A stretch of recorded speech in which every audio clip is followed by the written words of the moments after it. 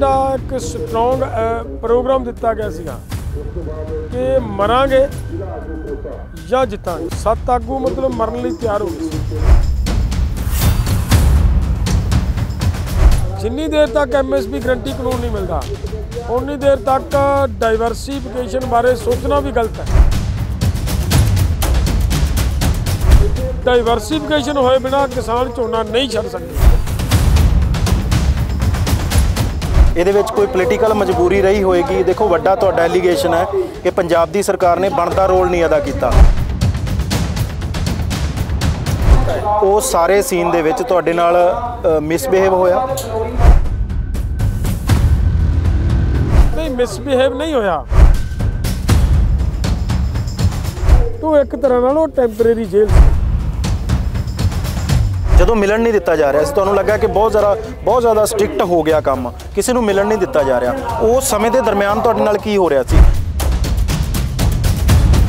ਜਦੋਂ ਅਫਸਰ ਮੇਰੇ ਕੋਲ ਆਉਂਦੇ ਸੀ, ਉਦੋਂ ਘੰਟਾ ਘੰਟਾ, ਅੱਧਾ ਅੱਧਾ ਘੰਟਾ, ਡੇਢ ਡੇਢ ਘੰਟਾ ਮੇਰੇ ਨਾਲ ਚਰਚਾ ਹੁੰਦੀ ਰਹਿੰਦੀ ਸੀ। ਔਰ ਉਹਨਾਂ ਦੀ ਗੱਲ ਇਹੀ ਹੁੰਦੀ ਸੀਗੀ ਕਿ ਡੱਲੇਵਾਲ ਸਾਹਿਬ, ਅਸੀਂ ਗੱਲ ਉੱਪਰ ਚਲਾ ਰਹੇ ਹਾਂ। ਤੁਸੀਂ ਮਤਲਬ ਅਨਸ਼ਨ ਛੱਡ ਦਿਓ।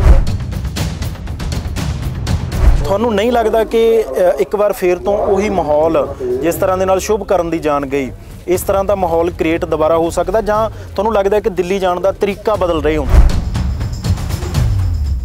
ਇਧਰੋਂ ਪੰਜਾਬ ਦੇ ਵਿੱਚ ਜ਼ਿਮਨੀ ਚੋਣਾਂ ਹੁੰਦੀਆਂ, ਤਿੰਨ ਜ਼ਿਮਨੀ ਚੋਣਾਂ ਪੰਜਾਬ ਦੀ ਸਰਕਾਰ ਜਿੱਤ ਜਾਂਦੀ ਹੈ। ਇਧਰੋਂ ਹਰਿਆਣੇ ਦੇ ਵਿੱਚ ਭਾਰਤੀ ਜਨਤਾ ਪਾਰਟੀ ਇੱਕ ਵਾਰ ਫਿਰ ਤੋਂ ਸਰਕਾਰ ਰਿਪੀਟ ਕਰ ਜਾਂਦੀ ਹੈ। ਹੱਦਾਂ ਤੇ ਬੈਠੇ ਹੋਏ ਕਿਸਾਨ ਦਾ ਪ੍ਰਭਾਵ ਕੀ ਮਹਿਸੂਸ ਕੀਤਾ ਜਾ ਸਕਦਾ ਕਿ ਪੰਜਾਬ ਦੇ ਕਿਸੇ ਪੋਲੀਟੀਕਲ ਧਿਰ ਤੇ ਵੀ ਨਹੀਂ ਹੋ ਰਿਹਾ ਕੇਂਦਰ ਦੀ ਕਿਸੇ ਪੋਲੀਟੀਕਲ ਧਿਰ ਤੇ ਵੀ ਨਹੀਂ ਹੋ ਰਿਹਾ? ਹੋਏਗਾ। ਇਹ ਅਸਰ ਦੇਖੋਗੇ ਕਿੱਡਾ ਵੱਡਾ ਹੋਏਗਾ। ਸਤਿ ਸ਼੍ਰੀ ਅਕਾਲ ਦਾ ਅਨਮਿਊਟ ਦੇਖ ਰਹੇ ਹੋ ਤੁਸੀਂ ਤੇ ਮੈਂ ਆ ਰਵੀ ਸੰਗਰਾਹੁਰ। ਖਨੌਰੀ ਬਾਰਡਰ ਤੇ ਪਿਛਲੇ ਦਿਨਾਂ ਦੇ ਵਿੱਚ ਇੱਕ ਵੱਡੀ ਖਬਰ ਇਹ ਬਣਦੀ ਹੈ ਕਿ ਜਗਜੀਤ ਸਿੰਘ ਡੱਲੇਵਾਲਾ ਨੂੰ ਉਹਨਾਂ ਦੇ ਆਪਣੇ ਤੰਬੂ ਦੇ ਵਿੱਚੋਂ ਚੁੱਕ ਲਿਆ ਜਾਂਦਾ ਹੈ। ਇੱਕ ਹਿਸਾਬ ਦੇ ਨਾਲ ਜਾਨੀ ਕਿਡਨੈਪ ਕਰਨ ਵਰਗੀ ਇਹ ਸਥਿਤੀ ਬਣਦੀ ਹੈ। ਇਹ ਕਿਵੇਂ ਹੋਇਆ, ਕਿਉਂ ਹੋਇਆ ਔਰ ਇਹਦੇ ਕਾਰਨ ਕੀ ਰਹੇ? ਖਾਸ ਤੌਰ ਤੇ ਕਿਉਂਕਿ ਕਿਸਾਨਾਂ ਦੇ ਵੱਲੋਂ ਇਹ ਐਲਾਨ ਕਰ ਦਿੱਤਾ ਗਿਆ ਕਿ 6 ਦਸੰਬਰ ਨੂੰ ਫੇਰ ਦਿੱਲੀ ਵੱਲ ਨੂੰ ਮੂਵ ਕੀਤਾ ਜਾਏਗਾ ਕਿਉਂਕਿ ਇਸ ਤੋਂ ਪਹਿਲਾਂ ਬਹੁਤ ਕੁਝ ਵਾਪਰਿਆ। ਫਿਰ ਮੂਵ ਹੋਏਗਾ, ਪਰ ਇਸ ਤੋਂ ਪਹਿਲਾਂ ਭਾਰਤੀ ਕਿਸਾਨ ਯੂਨੀਅਨ ਸਿੱਧੂਪੁਰ ਦੇ ਪੰਜਾਬ ਪ੍ਰਧਾਨ ਜਗਜੀਤ ਸਿੰਘ ਡੱਲੇਵਾਲ ਮਰਨ ਵਰਤ ਤੇ ਬੈਠਣਗੇ। ਮਰਨ ਵਰਤ ਤੋਂ ਪਹਿਲਾਂ ਉਹਨਾਂ ਨੇ ਆਪਣੀ ਸਾਰੀ ਜਾਇਦਾਦ, ਚੱਲ ਅਚਲ ਜਾਇਦਾਦ ਆਪਣੇ ਪਰਿਵਾਰ ਦੇ ਨਾਮ ਵੀ ਲਿਖਵਾਈ। ਸਰਕਾਰ ਤੱਕ ਸਟਰੋਂਗ ਮੈਸੇਜ ਪਹੁੰਚਿਆ ਕਿ ਜਗਜੀਤ ਸਿੰਘ ਡੱਲੇਵਾਲ ਹੁਣ ਇਸ ਫੈਸਲੇ ਤੇ ਨੇ ਕਿ ਜਾਂ ਜਾਂ ਤਾਂ ਉਹਨਾਂ ਦੀ ਮੌਤ ਹੋਏਗੀ ਤੇ ਜਾਂ ਫਿਰ ਮੰਗਾਂ ਮੰਨੀਆਂ ਜਾਣਗੀਆਂ। ਤਾਂ ਇਸ ਤੋਂ ਬਾਅਦ ਸਰਕਾਰ ਦੇ ਵੱਲੋਂ ਕੁਝ ਅਜਿਹੇ ਫੈਸਲੇ ਲਏ ਗਏ ਕਿ ਇਸ ਮਰਨ ਵਰਤ ਨੂੰ ਟਾਲਿਆ ਕਿਸ ਤਰੀਕੇ ਨਾਲ ਜਾ ਸਕਦਾ ਹੈ।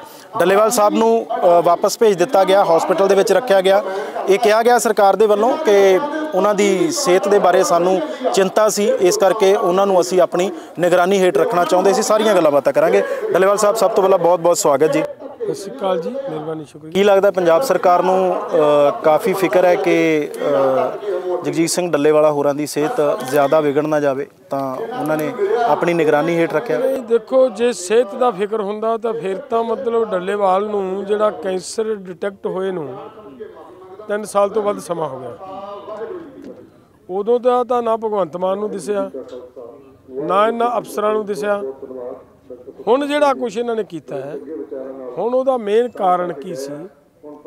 ਇਹ ਤਾਂ ਸਿਹਤ ਦਾ ਤਾਂ ਇੱਕ ਬਹਾਨਾ ਸੀ। ਕਿ ਜਿਹੜਾ ਇੱਕ ਸਟਰੋਂਗ ਪ੍ਰੋਗਰਾਮ ਦਿੱਤਾ ਗਿਆ ਸੀਗਾ ਕਿ ਮਰਾਂਗੇ ਜਾਂ ਜਿੱਤਾਂਗੇ।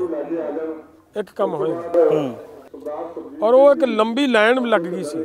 ਜੀ। ਸੱਤ ਆਗੂ ਮਤਲਬ ਮਰਨ ਲਈ ਤਿਆਰ ਹੋ ਗਏ ਸੀ। ਉਹਦੀ ਘਬਰਾਹਟ ਦੇ ਵਿੱਚੋਂ ਕੇਂਦਰ ਸਰਕਾਰ ਨੇ ਚਾਹਿਆ ਕਿ ਕਿਸੇ ਵੀ ਤਰੀਕੇ ਦੇ ਨਾਲ ਇਸ ਐਕਸ਼ਨ ਨੂੰ ਖੁੰਡਾ ਕੀਤਾ ਜਾਏ ਇਹਨੂੰ ਖਤਮ ਕੀਤਾ ਜਾਏ। ਔਰ ਉਹਦੇ ਲਈ ਉਹਨਾਂ ਕੋਲੇ ਇਹ ਹਥਿਆਰ ਸੀ ਸਾਡਾ ਭਗਵੰਤ ਮਾਨ ਇਹਨੂੰ ਵਰਤਿਆ ਹੈ। ਔਰ ਇਹਨੇ ਮੈਂ ਕਹੂੰਗਾ ਕਿ ਇੱਥੇ ਆ ਕੇ ਪੰਜਾਬ ਨਾਲ ਧਰੋਹ ਕਮਾਉਣ ਵਾਲੀ ਗੱਲ ਕੀਤੀ ਹੈ। ਹੂੰ। ਕਿਉਂਕਿ ਅਸੀਂ ਲੜਾਈ ਐਮਐਸਪੀ ਗਰੰਟੀ ਕਾਨੂੰਨ ਦੀ ਲੜ ਰਹੇ ਹਾਂ। ਇਹ ਆਪਣੇ ਆਪ ਨੂੰ ਪੰਜਾਬ ਦਾ ਪੁੱਤ ਕਹਾਉਂਦਾ ਹੈ।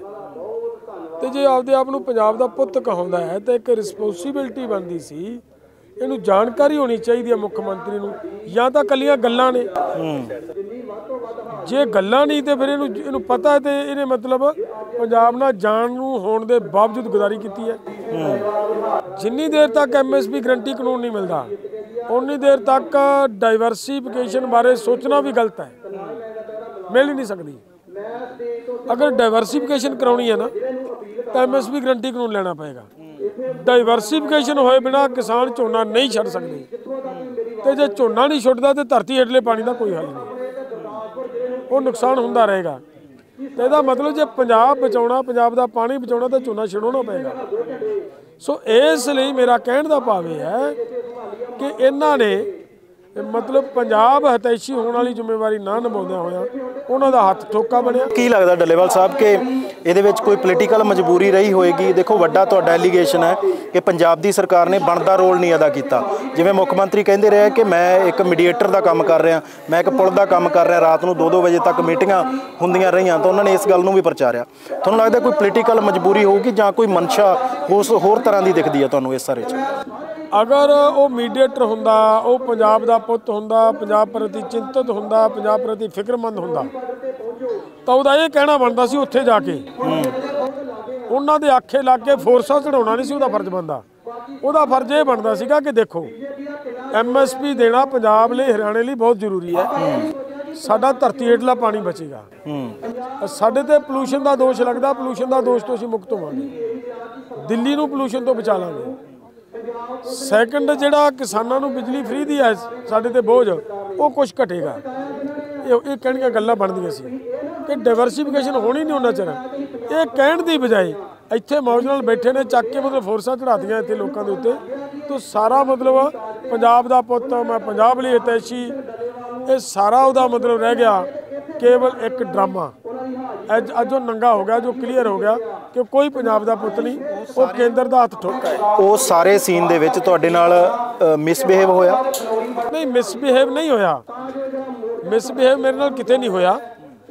ਲੇਕਿਨ ਇੱਕ ਗੱਲ ਜ਼ਰੂਰ ਹੋਈ ਉੱਥੇ ਕਿ ਬਈ ਦੇਖੋ ਜਿਹੜੇ ਮੇਰੇ ਨਾਲ ਮੈਨੂੰ ਪੱਤਰਕਾਰ ਮਿਲਣਾ ਚਾਹਵੇ ਲੋਕਾਂ ਨੂੰ ਤਾਂ ਇਹ ਕਿਹਾ ਕਿ ਅਸੀਂ ਜੀ ਉਹਨਾਂ ਦਾ ਇਲਾਜ ਕਰਾਉਣਾ ਚਾਹੁੰਦੇ ਸੀ। ਜੀ ਬਿਲਕੁਲ। ਉਹਨਾਂ ਦਾ ਚੈੱਕਅਪ ਕਰਾਉਣਾ ਚਾਹੁੰਦੇ ਸੀ। ਜੇ ਭਾਈ ਚੈੱਕਅਪ ਕਰਾਉਣਾ ਚਾਹੁੰਦੇ ਹੋ ਤਾਂ ਫਿਰ ਪੱਤਰਕਾਰ ਨੂੰ ਮੇਰੇ ਕੋਲੇ ਆਇਆ ਹੋਣ ਤੇ ਕੀ ਕੀ ਦਿੱਕਤ ਹੈ ਤੁਹਾਨੂੰ? ਕੋਈ ਕਿਸਾਨ ਲੀਡਰ ਮੈਨੂੰ ਮਿਲਣਾ ਚਾਹੁੰਦਾ ਉਹਦੇ ਆਉਣ ਤੇ ਤੁਹਾਨੂੰ ਕੀ ਦਿੱਕਤ ਹੈ? ਕੋਈ ਮੇਰੀ ਜਥੇਬੰਦੀ ਦੇ ਕਿਸਾਨ ਚਾਰ ਮੈਨੂੰ ਮਿਲਣਾ ਚਾਹੁੰਦੇ ਉਹਦੇ ਕੀ ਦਿੱਕਤ ਹੈ? ਜਿਹੜੇ ਹੋਰ ਉੱਥੇ ਵਿਚਾਰੇ ਮਰੀਜ਼ ਨੇ ਉਹਨਾਂ ਦੇ ਅਟੈਂਡੈਂਟ ਨੇ ਜਿਹੜੇ ਉਹਨਾਂ ਦਾ ਫੋਨ ਤੋਂ ਤੁਹਾਨੂੰ ਕੀ ਦਿੱਕਤ ਹੈ? ਤੋਂ ਇੱਕ ਤਰ੍ਹਾਂ ਨਾਲ ਉਹ ਟੈਂਪਰੇਰੀ ਜੇਲ੍ਹ ਸੀ। ਫਿਰ ਹੋ ਕੀ ਰਿਹਾ ਸੀ ਉੱਥੇ? ਜਦੋਂ ਮਿਲਣ ਨਹੀਂ ਦਿੱਤਾ ਜਾ ਰਿਹਾ ਸੀ ਤੁਹਾਨੂੰ ਲੱਗਾ ਕਿ ਬਹੁਤ ਜ਼ਿਆਦਾ ਬਹੁਤ ਜ਼ਿਆਦਾ ਸਟ੍ਰਿਕਟ ਹੋ ਗਿਆ ਕੰਮ? ਕਿਸੇ ਨੂੰ ਮਿਲਣ ਨਹੀਂ ਦਿੱਤਾ ਜਾ ਰਿਹਾ। ਉਸ ਸਮੇਂ ਦੇ ਦਰਮਿਆਨ ਤੁਹਾਡੇ ਨਾਲ ਕੀ ਹੋ ਰਿਹਾ ਸੀ? ਆਰਾਮ ਨਾਲ ਬੈਠੇ ਸੀ ਤੁਸੀਂ? ਜਾਂ ਕੋਈ ਕੋਈ ਨੈਗੋਸੀਏਸ਼ਨ ਹੋ ਰਹੀ ਸੀ? ਤੁਹਾਡੀ ਕੋਈ ਬਹਿਸਬਾਜ਼ੀ ਹੋ ਰਹੀ ਸੀ? ਜਾਂ ਕੋਈ ਗੱਲ ਛਿੜ ਰਹੀ ਸੀ ਇਸ ਨੂੰ? ਦੋਨੇ ਗੱਲਾਂ ਨੇ। ਬਹੁਤ ਸਾਰਾ ਟਾਈਮ ਤਾਂ ਮਤਲਬ ਜਦੋਂ ਅਫਸਰ ਮੇਰੇ ਕੋਲ ਆਉਂਦੇ ਸੀ ਉਦੋਂ ਘੰਟਾ ਘੰਟਾ ਅੱਧਾ ਅੱਧਾ ਘੰਟਾ ਡੇਢ ਡੇਢ ਘੰਟਾ ਮੇਰੇ ਨਾਲ ਚਰਚਾ ਹੁੰਦੀ ਰਹਿੰਦੀ ਸੀ। ਔਰ ਉਹਨਾਂ ਦੀ ਗੱਲ ਇਹੀ ਹੁੰਦੀ ਸੀਗੀ ਕਿ ਡੱਲੇਵਾਲ ਸਾਹਿਬ ਅਸੀਂ ਗੱਲ ਉੱਪਰ ਚਲਾ ਰਹੇ ਹਾਂ। ਤੁਸੀਂ ਮਤਲਬ ਅਨਸ਼ਨ ਛੱਡ ਦਿਓ। ਤੁਹਾਡੀ ਸਿਹਤ ਦੀ ਬਹੁਤ ਲੋੜ ਹੈ। ਤੁਹਾਡੀ ਦੇਸ਼ ਨੂੰ ਲੋੜ ਹੈ।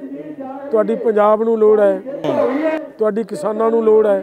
ਇਹ ਗੱਲਾਂ ਹੁੰਦੀਆਂ ਸੀ। ਜੀ। ਲੇਕਿਨ ਉਹ ਇੱਕ ਤਰ੍ਹਾਂ ਦੇ ਨਾਲ ਆਈਸੋਲੇਟ ਕਰਕੇ ਆਈਸੋਲੇਟ ਕਰਕੇ ਜਿਵੇਂ ਇੱਕ ਬੰਦੇ ਦੇ ਤੇ ਪ੍ਰੈਸ਼ਰ ਬਿਲਡ ਕਰਨਾ ਉਹ ਵੀ ਉਹਨਾਂ ਦਾ ਉਹਨਾਂ ਦਾ ਤਰੀਕਾ ਠੀਕ ਨਹੀਂ ਸੀ। ਉਹਨਾਂ ਦਾ ਯਤਨ ਜਾਰੀ ਸੀ। ਹੂੰ। ਅੱਛਾ ਡੱਲੇਵਾਲ ਸਾਹਿਬ, ਮਸਲਾ ਤਾਂ ਇਹ ਵੀ ਹੈ ਕਿ 6 ਦਸੰਬਰ ਨੂੰ ਫੇਰ ਤੋਂ ਕਾਲ ਦੇ ਦਿੱਤੀ ਗਈ ਹੈ ਕਿ ਅਸੀਂ ਮੂਵ ਕਰਨਾ ਦਿੱਲੀ ਵੱਲ ਨੂੰ। ਔਰ ਹਰਿਆਣੇ ਦੇ ਖੇਤੀਬਾੜੀ ਮੰਤਰੀ ਦਾ ਵੀ ਇੱਕ ਇਹਦੇ ਤੇ ਰਿਐਕਸ਼ਨ ਆਉਂਦਾ ਹੈ ਕਿ ਜੇਕਰ ਕਿਸਾਨ ਪੈਦਲ ਜਾਣਾ ਚਾਹੁੰਦਾ ਹੈ ਤਾਂ ਕੋਈ ਦਿੱਕਤ ਨਹੀਂ ਹੈ, ਕੋਈ ਟਰੈਕਟਰ ਵਗੈਰਾ ਨਾ ਹੋਵੇ। ਤੁਹਾਨੂੰ ਨਹੀਂ ਲੱਗਦਾ ਕਿ ਇੱਕ ਵਾਰ ਫੇਰ ਤੋਂ ਉਹੀ ਮਾਹੌਲ ਜਿਸ ਤਰ੍ਹਾਂ ਦੇ ਨਾਲ ਸ਼ੁਭ ਕਰਨ ਦੀ ਜਾਣ ਗਈ, ਇਸ ਤਰ੍ਹਾਂ ਦਾ ਮਾਹੌਲ ਕ੍ਰੀਏਟ ਦੁਬਾਰਾ ਹੋ ਸਕਦਾ ਜਾਂ ਤੁਹਾਨੂੰ ਲੱਗਦਾ ਕਿ ਦਿੱਲੀ ਜਾਣ ਦਾ ਤਰੀਕਾ ਬਦਲ ਰਹੇ ਹੋ ਤੁਸੀਂ? ਦੇਖੋ ਜਿਹੜਾ ਮਤਲਬ ਫੋਰਮ ਨੇ ਫੈਸਲਾ ਲਿਆ ਫੋਰਮਾਂ ਨੇ ਉਹ ਇਹ ਹੈ ਕਿ ਇੱਥੇ ਅਸੀਂ ਅੰਦੋਲਨ ਅਨਸ਼ਨ ਸ਼ੁਰੂ ਕੀਤਾ ਹੈ। ਜੀ। ਉਹ ਇਸ ਲਈ ਕੀਤਾ ਅਨਾਉਂਸ ਕੀਤਾ ਕਿ ਸਰਕਾਰ ਗੱਲਬਾਤ ਤੇ ਆਵੇ। ਅਗਰ ਸਰਕਾਰ ਗੱਲਬਾਤ ਤੇ ਆ ਜਾਂਦੀ ਹੈ ਤਾਂ ਉਸ ਮਤਲਬ ਜਿਹੜਾ ਕਾਲ ਹੈ ਉਹਦਾ ਠੰਡਾ ਹੋ ਸਕਦਾ। ਪਰ ਉਹਦੀ ਤਾਂ ਵੇਟ ਕੀਤੀ ਜਾ ਰਹੀ ਹੈ। ਡੈਡਲੌਕ ਵੱਡਾ ਬਣਿਆ ਹੋਇਆ ਹੈ। ਡੈਡਲੌਕ ਟੁੱਟਣ ਦੀ ਸੰਭਾਵਨਾ ਹੈ। ਮੈਂ ਜਿਹੜੀ ਕਹਿ ਰਿਹਾ ਗੱਲ ਅਗਰ ਉਹ ਨਹੀਂ ਤਾਂ ਫਿਰ ਇੱਕ ਬਹੁਤ ਵਧੀਆ ਪੀਸਫੁਲੀ ਅਸੀਂ ਇਹ ਸੋਚ ਕੇ ਕਿ ਨੁਕਸਾਨ ਨਾ ਹੋਵੇ। ਤਾਂ ਇਹ ਰੱਖਿਆ ਕਿ ਸਾਡੇ ਜਥਿਆਂ ਦੇ ਰੂਪ ਚ ਜਾਵਾਂਗੇ ਔਰ ਪੈਦਲ ਜਾਵਾਂਗੇ। ਤੇ ਜੋ ਪੈਦਲ ਤੁਸੀਂ ਇਹ ਫੈਸਲਾ ਲੈ ਲਿਆ ਕਿ ਠੀਕ ਹੈ। ਜੇ ਤੁਸੀਂ ਚਾਹੁੰਦੇ ਹੋ ਕਿ ਪੈਦਲ ਆਓ ਤਾਂ ਫਿਰ ਪੈਦਲ ਜਾਵਾਂਗੇ। ਪੈਦਲ ਜਾਵਾਂਗੇ। ਤੇ ਜੇ ਪੈਦਲ ਵੀ ਨਹੀਂ ਜਾਣ ਦਿੰਦੇ ਤਾਂ ਮਤਲਬ ਸਰਕਾਰ ਦੀ ਨੀਅਤ ਤੇ ਨੀਤੀ ਕਲੀਅਰ ਹੋ ਜੂਗੀ। ਹੂੰ। ਅੱਛਾ, ਇਹਦੇ ਵਿੱਚ ਮਸਲਾ ਇਹ ਵੀ ਹੈ ਕਿ ਜਿਵੇਂ ਸਰਕਾਰ ਬਹੁਤ ਸਾਰੇ ਆਪਣੇ ਦੇਖੋ, ਜਦੋਂ ਸਵਾਮੀਨਾਥਨ ਦੀ ਰਿਪੋਰਟ ਜਿਹੜੀ ਹੈ, ਉਹ ਮਨਮੋਹਨ ਸਿੰਘ ਹੋਰਾਂ ਦੀ ਸਰਕਾਰ ਚ ਆਉਂਦੀ ਹੈ ਤੇ ਆਪ ਹੀ ਲਾਗੂ ਕਰਨ ਤੋਂ ਮਨਾ ਕਰ ਜਾਂਦੇ ਆ। ਉਸ ਤੋਂ ਬਾਅਦ ਸਰਕਾਰਾਂ ਬਦਲਦੀਆਂ ਰਹੀਆਂ, ਪ੍ਰਧਾਨ ਮੰਤਰੀ ਬਦਲਦੇ ਰਹੇ। ਇੱਕ ਵੱਡੀ ਜਿਹੜੀ ਉਹ ਕਹਿੰਦੇ ਨੇ ਕਿ ਸਮੱਸਿਆ ਆਉਂਦੀ ਹੈ ਕਿ ਵਰਲਡ ਬੈਂਕ ਤੱਕ ਦੀਆਂ ਗੱਲਾਂ ਹੁੰਦੀਆਂ। ਸਾਨੂੰ ਇਜਾਜ਼ਤ ਨਹੀਂ ਮਿਲ ਰਹੀ ਕਿ ਅਸੀਂ ਕਿਸਾਨ ਨੂੰ ਐਮਐਸਪੀ ਦੇ ਸਕੀਏ। ਇਹ ਇਹ ਸਭ ਤੋਂ ਵੱਡਾ ਜਿਹੜਾ ਕਹਿ ਲਓ ਕਿ ਹਰਡਲ ਹੈ ਇੱਕ ਸਰਕਾਰ ਦੇ ਫੈਸਲੇ 'ਚ ਤੇ ਇਧਰੋਂ ਮੰਗ ਮੰਨਣ ਦੇ ਫੈਸਲੇ ਦੇ ਵਿੱਚ ਵਿਚਾਲੇ ਜਿਹੜੀ ਹਰਡਲ ਹੈ ਵਰਲਡ ਬੈਂਕ ਹੈ।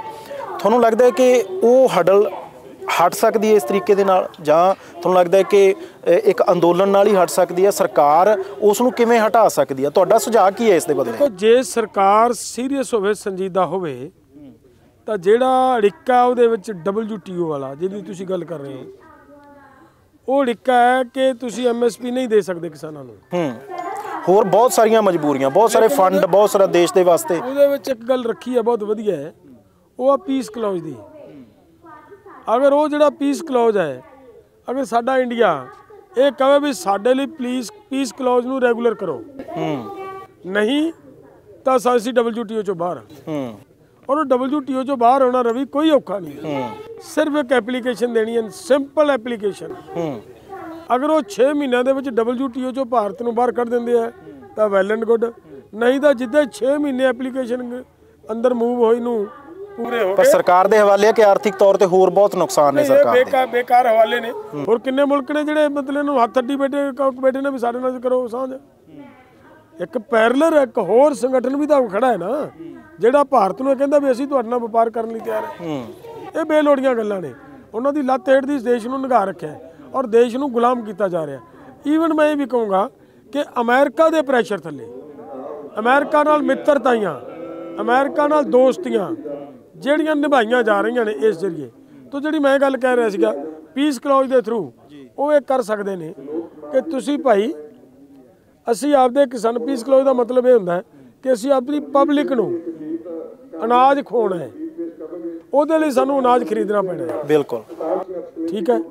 ਉਹਦੇ ਲਈ ਜਿੰਨਾ ਮਰਜ਼ੀ ਅਨਾਜ ਖਰੀਦ ਸਕਦੇ ਆ ਹੁਣ ਸਾਡੇ ਜੇਲ੍ਹਾਂ ਦੇ ਵਿੱਚ ਅਨਾਜ ਦਿੱਤਾ ਜਾਂਦਾ ਹੈ। ਸਾਡੇ ਸਕੂਲਾਂ 'ਚ ਅਨਾਜ ਦਿੱਤਾ ਜਾਂਦਾ ਹੈ। ਜੀ।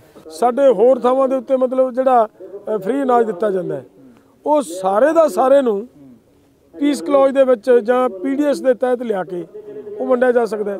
ਤੇ ਭਾਰਤ ਦਾ ਜਿੰਨਾ ਜਿੰਨਾ ਅਨਾਜ ਹੈ ਉਹ ਸਾਰੇ ਦਾ ਸਾਰਾ ਯੂਜ਼ ਕੀਤਾ ਜਾ ਸਕਦਾ ਕੋਈ ਦਿੱਕਤ ਨਹੀਂ ਨੋ ਪ੍ਰੋਬਲਮ ਅੱਛਾ ਚਲੋ ਇਸ ਗੱਲ ਤੋਂ ਆਪਾਂ ਵਾਪਸ ਆਈਏ ਤਾਂ ਪੰਜਾਬ ਹਰਿਆਣੇ 'ਚ ਵਾਪਸ ਆ ਜਾਈਏ ਕਿ ਵੱਡੀ ਨਾਰਾਜ਼ਗੀ ਪੰਜਾਬ ਦੀ ਸਰਕਾਰ ਦੇ ਨਾਲ ਪਿਛਲੇ ਦਿਨਾਂ ਦੇ ਵਿੱਚ ਇਹ ਵੀ ਰਹੀ ਕਿ ਅ, ਝੋਨੇ ਦੀ ਤੁਲਾਈ ਨਹੀਂ ਹੋਈ ਝੋਨਾ ਚੁੱਕਿਆ ਨਹੀਂ ਗਿਆ ਉਹਦੀ ਲਿਫਟਿੰਗ ਨਹੀਂ ਹੋਈ तमाम ਚੀਜ਼ਾਂ ਨਾਲ ਕਿਸਾਨ ਨੂੰ ਹੀ ਜੂਝਣਾ ਪਿਆ ਆਫਟਰ ਆਲ ਇਧਰੋਂ ਪੰਜਾਬ ਦੇ ਵਿੱਚ ਜ਼ਿਮਨੀ ਚੋਣਾਂ ਹੁੰਦੀਆਂ ਤਿੰਨ ਜ਼ਿਮਨੀ ਚੋਣਾਂ ਪੰਜਾਬ ਦੀ ਸਰਕਾਰ ਜਿੱਤ ਜਾਂਦੀ ਹੈ ਇਧਰੋਂ ਹਰਿਆਣੇ ਦੇ ਵਿੱਚ ਭਾਰਤੀ ਜਨਤਾ ਪਾਰਟੀ ਇੱਕ ਵਾਰ ਫਿਰ ਤੋਂ ਸਰਕਾਰ ਰਿਪੀਟ ਕਰ ਜਾਂਦੀ ਹੈ।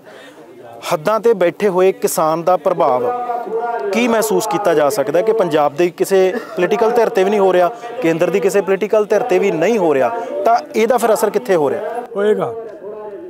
ਇਹ ਅਸਰ ਦੇਖੋਗੇ ਕਿੱਡਾ ਵੱਡਾ ਹੋਏਗਾ। ਅੱਜ 80% ਲੋਕ ਭਾਰਤ ਦੀ ਚੋਣ ਪ੍ਰਕਿਰਿਆ ਦੇ ਸਿਸਟਮ ਤੋਂ ਨਿਰਾਸ਼ ਨੇ। ਜੀ। 80% ਲੋਕ। ਆ ਬੈਲਟ ਪੇਪਰ ਵਰਗੀਆਂ ਗੱਲਾਂ ਚੱਲਦੇ ਨਿਰਾਸ਼ ਨੇ ਨਾ। ਅਗਰ 80% ਲੋਕ ਉਹ ਤੋਂ ਨਿਰਾਸ਼ ਨੇ। ਕਿਉਂ ਨਿਰਾਸ਼ ਹੋਏ? ਜਿਹੜੇ ਰਾਜ ਦੇ ਵਿੱਚ ਇਹ ਰੌਲਾ ਪੈ ਗਿਆ ਹੋਵੇ ਕਿ ਬਿਲਕੁਲ ਕਲੀਨ ਸਵੀਪ ਹੈ। ਭਾਜਪਾ ਨੂੰ 15 ਤੋਂ ਵੱਧ ਸੀਟਾਂ ਨਹੀਂ ਆ ਸਕਦੀਆਂ। ਉੱਥੇ 48 49 ਸੀਟਾਂ ਆ ਜਾਣੀਆਂ। ਇਹਨੂੰ ਕੀ ਮੰਨੋਗੇ ਤੁਸੀਂ? ਲੋਕਾਂ ਦੇ ਮਨਸ਼ਾ ਦੇ ਖਿਲਾਫ ਗਈ ਗੱਲ। ਹੈ। ਔਰ ਜੇ ਲੋਕਾਂ ਦੀ ਮਨਸ਼ਾ ਉਹ ਸੀ, ਤਾਂ ਫਿਰ ਇਹਦਾ ਮਤਲਬ ਲੋਕਾਂ ਨੇ ਤਾਂ ਵੋਟ ਨਹੀਂ ਪਾਈ। ਉਹ ਕਿੱਥੋਂ ਆਈ, ਕਿਵੇਂ ਆਈ, ਉਹ ਤੇ ਹਜੇ ਚਰਚਾ ਕਰਨੀ ਮੈਂ ਉਚਿਤ ਨਹੀਂ ਸਮਝਦਾ। ਔਰ ਜਿਹੜੀ ਪੰਜਾਬ ਦੀ ਤੁਸੀਂ ਗੱਲ ਕਰਦੇ ਆ, ਹੁਣ ਜਿਹੜਾ ਪੰਜਾਬ ਹੈ, ਇਹ ਸੀਗੀਆਂ ਬਾਈ ਇਲੈਕਸ਼ਨਾਂ। ਬਾਈ ਇਲੈਕਸ਼ਨਾਂ ਦੇ ਵਿੱਚੋਂ ਹਮੇਸ਼ਾ ਹਮੇਸ਼ਾ ਜੇ ਜਿੱਤਦਾ ਹੈ, ਤਾਂ ਸੱਤਾਧਾਰੀ ਧਿਰ ਜਿੱਤਦੀ ਹੈ। ਨੰਬਰ 2 ਇਸ ਵਾਰੀ ਕਾਂਗਰਸ ਨੂੰ ਹਰਾਉਣ ਵਾਸਤੇ ਅਕਾਲੀ ਦਲ ਨੇ clear cut Aam Aadmi party ਨੂੰ ਵੋਟਾਂ ਪਾਈਆਂ। ਇਹ ਕਲੀਅਰ ਹੈ ਲੋਕਾਂ ਨੂੰ ਪਤਾ ਹੈ। ਤੁਸੀਂ ਜਾ ਕੇ ਸਰਵੇ ਕਰ ਲਿਓ ਪੱਤਰਕਾਰ। ਹੋ ਤੇ ਜੇ ਦੋ ਧਿਰਾਂ ਰਲ ਕੇ ਲੜ ਰਹੀਆਂ ਨੇ, ਤਾਂ ਜਿਹੜਾ ਕਾਂ- ਜਿਹੜਾ ਜਿਹੜਾ ਆਮ ਆਦਮੀ ਪਾਰਟੀ ਨੇ ਹਰਨਾ ਸੀ, ਤੁਸੀਂ ਮੈਨੂੰ ਇਹ ਦੱਸਿਓ, ਅਗਰ ਉੱਥੇ ਗਿੱਦੜਵਾ ਦੀ ਸੀਟ ਤੇ ਸੁਖਬੀਰ ਬਾਦਲ ਖੜਾ ਹੁੰਦਾ ਕੌਣ ਜਿੱਤਦਾ? ਬਿਲਕੁਲ ਹਾਲਾਤ ਕੁਝ ਹੋਰ ਹੁੰਦੇ। ਹਾਲਾਤ ਕੁਝ ਹੋਰ ਹੁੰਦੇ ਨਾ। ਇੱਧਰ ਵੀ ਜੇਕਰ ਦੂਸਰੀਆਂ ਸੀਟਾਂ ਤੇ ਵੀ ਆ ਇਹਨਾਂ ਦਾ ਅਕਾਲੀ ਦਲ ਦਾ ਬੰਦਾ ਖੜਾ ਹੁੰਦਾ 15000 12000 18000 ਤਾਂ ਉਹਨਾਂ ਨੇ ਵੋਟ ਲੈਣੀ ਸੀ ਨਾ। ਉਹ ਸਾਰੀ ਦੀ ਸਾਰੀ ਵੋਟ ਕਿੱਥੇ ਗਈ ਹੈ? ਸੋ ਮੇਰਾ ਕਹਿਣ ਦਾ ਭਾਵ ਹੈ ਇਹ ਜਿਹੜੀ ਅਕਾਲੀ ਦਲ ਦੀ ਭਾਜਪਾ ਨਾਲ ਸਾਂਝ ਹੈ ਤੇ ਭਾਜਪਾ ਦੀ ਆਮ ਆਦਮੀ ਪਾਰਟੀ ਨਾਲ ਜਿਹੜੀ ਸਾਂਝ ਹੈ ਇਹ ਉਹਨੂੰ ਉਹਨੂੰ ਉਹਨੂੰ ਉਹ- ਉਹ- ਉਹਨਾਂ ਉਹਨਾਂ ਉਹਨਾਂ ਦੇ ਖਦਸੇ ਜਾ ਰਹੀ। ਹੂੰ ਠੀਕ ਹੈ ਚਲੋ ਆਖਰੀ ਸਵਾਲਾਂ ਵੱਲ ਵਧੀਏ ਕਿ ਇੱਕ ਚੀਜ਼ ਹੋਰ ਸਮਝਣੀ ਚਾਹੁੰਦੇ ਨੇ ਲੋਕ ਕਿ ਤੁਸੀਂ ਆਪਣੀ ਜੋ ਜਾਇਦਾਦ ਸੀ ਆਪਣੇ ਪਰਿਵਾਰ ਦੇ ਨਾਮ ਲਿਖਾਈ ਉਸ ਦੇ ਵਿੱਚ ਵਿੱਚ ਨਾਲ ਤੁਸੀਂ ਬਹੁਤ ਘੱਟ ਉਦਾਹਰਨਾਂ ਮਿਲਦੀਆਂ ਨੇ ਵੈਸੇ ਇਹ। ਇੱਕ ਉਦਾਹਰਨ ਤੁਹਾਡੇ ਕੋਲੋਂ ਵੀ ਹੈ ਲੋਕਾਂ ਦੇ ਜੱਗ ਜ਼ਾਹਰ ਹੋ ਗਈ ਕਿ ਆਪਣੀ ਨੂੰਹ ਦੇ ਨਾਮ ਵੀ ਤੁਸੀਂ ਬਣਦਾ ਹਿੱਸਾ ਜਿਹੜਾ ਉਹ ਲਵਾਇਆ। ਉਹ ਲੋਕ ਸਮਝਣਾ ਚਾਹੁੰਦੇ ਆ ਕਿ ਕੀ ਸੀ? ਦੇਖੋ ਮੇਰਾ ਮੰਨਣਾ ਹੈ ਮੈਂ 6 ਭੈਣਾਂ ਦਾ ਭਰਾ ਹਾਂ। ਲੜਕੀ ਹੈ ਜਿਹੜੀ, ਜਦੋਂ ਸਾਡੇ ਘਰੇ ਜਨਮ ਲੈ ਲੈਂਦੀ ਹੈ। ਦੋ ਬੱਚੇ ਆ, ਇੱਕ ਲੜਕੀ ਹੈ ਇੱਕ ਲੜਕਾ ਹੈ। ਮਾਂ ਨੂੰ ਦੋਨੇ ਪਿਆਰੇ ਨੇ। ਲੇਕਿਨ ਰੋਟੀ ਖਵਾਉਣ ਲੱਗੀ, ਜਦੋਂ ਮੱਖਣੀ ਪਾ ਕੇ, ਦਹੀਂ ਪਾ ਕੇ ਰੋਟੀ ਖਵਾਏਗੀ, ਪਰੌਠਾ ਬਣਾ ਕੇ ਖਵਾਏਗੀ, ਪਹਿਲਾਂ ਲੜਕੇ ਨੂੰ ਖਵਾਏਗੀ, ਲੜਕੀ ਨੂੰ ਆਖੂਗੀ ਆ ਉਹਦੀ ਰੋਟੀ ਆ ਉਹਦੀ ਦਹੀਂ ਛੱਡੀ ਪਈ ਆ, ਕੁੜੇ ਤੂੰ ਵੀ ਖਾ ਲਾ। ਇਹ ਆਮ ਹੈ।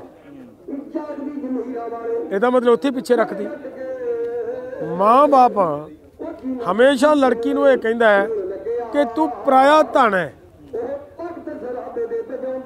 ਤੇ ਸਹੁਰੀ ਜਦੋਂ ਜਾ ਵੜਦੀ ਹੈ ਉਹ ਕਹਿੰਦੇ ਬਗਾਨੇ ਘਰੋਂ ਆਏ ਉਹ ਕਹਿੰਦੀ ਤੂੰ ਬਗਾਨੀ ਧੀ ਆ। ਯਾਰ ਉੱਥੇ ਉਹ ਜੇ ਪੇਕਿਆਂ ਦੇ ਘਰੇ ਹੈ ਤੋ ਪਰਾਇਆ ਧਨ ਹੈ। ਜੇ ਅੱਗੇ ਚਲੀ ਗਈ ਹੈ ਤੇ ਉਹ ਬਗਾਨੀ ਧੀ ਹੈ। ਅੱਗੇ ਫਿਰ ਨੋ ਆ ਗਈ। ਫਿਰ ਨੋ ਨੇ ਠੇਡੇ ਮਾਰਨੇ ਸ਼ੁਰੂ ਕਰ ਲਏ। ਯਾਰ ਉਹਦੀ ਸਾਰੀ ਜ਼ਿੰਦਗੀ ਐ ਲੰਘਦੀ ਹੈ ਉਹਨੇ ਪਾਪ ਕੀ ਕੀਤਾ ਹੈ ਕਿਹਾ ਸਾਡੇ ਦੇਸ਼ 'ਚ ਇਹ ਜਾਂਦਾ ਹੈ ਕਿ ਲੜਕੀ ਤੇ ਲੜਕੇ 'ਚ ਕੋਈ ਫ਼ਰਕ ਨਹੀਂ, ਔਰਤ ਤੇ ਮਰਦ 'ਚ ਕੋਈ ਫ਼ਰਕ ਨਹੀਂ। ਕੀ ਇਹ ਫ਼ਰਕ ਨਹੀਂ? ਤਾਂ ਮੇਰੀ ਮਨਸ਼ਾ ਇਹ ਸੀਗੀ ਕਿ ਲੜਕੀ ਜਿਹੜੀ ਮੇਰੀ ਨੂੰਹ ਹੈ ਸਚਾਈ ਹੈ ਇਹ। ਮੈਂ ਉਹਨੂੰ ਕਦੇ ਵੀ ਆਪਦੀ ਨੂੰਹ ਨਹੀਂ ਮੰਨਦਾ। ਮੈਂ ਉਹਨੂੰ ਆਪਦਾ ਬੇਟੇ ਦੇ ਬਰਾਬਰ ਰੁਤਬਾ ਦਿੰਦਾ। ਇੱਥੇ ਸਾਡੇ ਘਰੇ ਆ ਕੇ ਉਹਨੇ ਐਮਐਸਸੀ ਦਾ ਥੋੜਾ ਜਿਹਾ ਇੱਕ ਸਮੈਸਟਰ ਰਹਿੰਦਾ ਸੀ, ਉਹ ਅਸੀਂ ਪਾਸ ਕਰਾਇਆ। ਹੁਣ ਉਹ ਫਿਰ ਪੇਪਰਾਂ ਦੀ ਤਿਆਰੀ ਕਰੀ ਜਾਂਦੀ ਹੈ। ਅੱਗੇ ਉਹਦੀ ਮਨਸ਼ਾ ਹੈ ਕਿ ਮੈਂ ਡੈਡੀ ਪੀਸੀ ਪੀਸੀਐਸ ਕਰ ਲਾਂ। ਮੈਂ ਉਹਨੂੰ ਇਹ ਵੀ ਥਾਪੀ ਦਿੱਤੀ ਹੈ ਵੀ ਪੁੱਤ ਮੈਂ ਜਿਉਂਦਾ ਰਿਹਾ ਤੇ ਇਹ ਵੀ ਕਰ ਲਾਂ। ਤੇਰੇ ਨਾਲ ਆ। ਉਹ ਵੀ ਕਰਾਵਾਂਗੇ। ਹੁਣ ਮੇਰੀ, ਮੈਨੂੰ ਲੱਗਦਾ ਹੈ, ਜਿਹੜੇ ਮੇਰੀਆਂ, ਮੇਰੇ ਸੁਪਨੇ, ਮੇਰੇ ਬੇਟੇ ਚੋਂ ਨਹੀਂ ਮੈਨੂੰ ਪੂਰੇ ਹੁੰਦੇ ਦਿਸੇ। ਉਹ ਮੇਰੀ ਧੀ ਚੋਂ ਪੂਰੇ ਹੁੰਦੇ ਦਿਸਦੇ। ਠੀਕ ਹੈ ਆਖਰੀ ਸਵਾਲ। ਤੁਸੀਂ ਹੁਣ ਮਰਨ ਵਰਤੇ ਹੋ ਕੰਟੀਨਿਊ ਕਰ ਰਹੇ ਹੋ ਮਰਨ ਵਰਤ ਨੂੰ? ਸਿਹਤ ਦਾ ਚੈੱਕਅਪ ਹੋ ਰਿਹਾ ਤੁਹਾਡਾ? ਔਰ ਚੈੱਕਅਪ ਹੁੰਦਾ ਦੋ ਟੀਮਾਂ ਨੇ ਸਰਕਾਰ ਦੀ ਟੀਮ ਵੀ ਹੈ ਔਰ ਉਧਰੋਂ ਜਿਹੜਾ ਮਤਲਬ ਫਾਈਬਰ ਵਾਲੀ ਟੀਮ ਹੈ ਮੰਗਾਂ ਪ੍ਰਵਾਨ ਹੋਣ ਤੱਕ ਮਰਨ ਵਰਤ ਜਾਰੀ ਰਹੂਗਾ। ਜਾਰੀ ਰਹੇ ਬਹੁਤ ਧੰਨਵਾਦ ਜੀ। ਸ਼ੁਕਰੀਆ। ਤਾਂ ਸਿੱਧੇ ਤੌਰ ਤੇ ਜਗਜੀਤ ਸਿੰਘ ਡੱਲੇਵਾਲ ਜਗਜੀਤ ਸਿੰਘ ਡੱਲੇਵਾਲ ਉਹਨਾਂ ਦਾ ਪੋਤਰਾ, ਤੁਸੀਂ ਵੀਡੀਓ ਵੀ ਸੁਣੀ ਕਿ ਉਹ ਕਹਿੰਦਾ ਸੀ ਕਿ ਮੇਰੇ ਬਾਪੂ ਨੂੰ ਮੈਂ ਜਾਣਦਾ, ਉਹ ਪਿੱਛੇ ਹਟਣ ਵਾਲੇ ਨਹੀਂ, ਤਾਂ ਇਸ ਗੱਲਬਾਤ ਦੇ ਵਿੱਚੋਂ ਵੀ ਤੁਸੀਂ ਸਮਝ ਸਕਦੇ ਹੋ। ਉਹ ਕਹਿੰਦੇ ਨੇ ਕਿ ਦਿੱਲੀ ਵੀ ਜਾਵਾਂਗੇ, ਪਰ ਸਰਕਾਰ ਦੀ ਜਿਸ ਤਰ੍ਹਾਂ ਦੀ ਮਨਸ਼ਾ ਹੈ, ਉਸ ਮਨਸ਼ਾ ਦੇ ਹਿਸਾਬ ਨਾਲ ਹੀ ਜਾਵਾਂਗੇ। ਚਲੋ, ਪੈਦਲ ਜਾਂਦੇ ਆ ਫਿਰ ਦੇਖਦੇ ਆ ਕਿ ਅੱਗੇ ਸਰਕਾਰ ਦਾ ਕਿਸ ਤਰ੍ਹਾਂ ਦਾ ਫੈਸਲਾ ਆਉਂਦਾ। ਫਿਲਹਾਲ ਅਨਸ਼ਨ ਉਸੇ ਤਰ੍ਹਾਂ ਦੇ ਨਾਲ ਜਾਰੀ ਹੈ। ਫਿਲਹਾਲ ਮੈਨੂੰ ਦਿਓ ਇਜਾਜ਼ਤ। ਸਤਿ ਸ਼੍ਰੀ ਅਕਾਲ।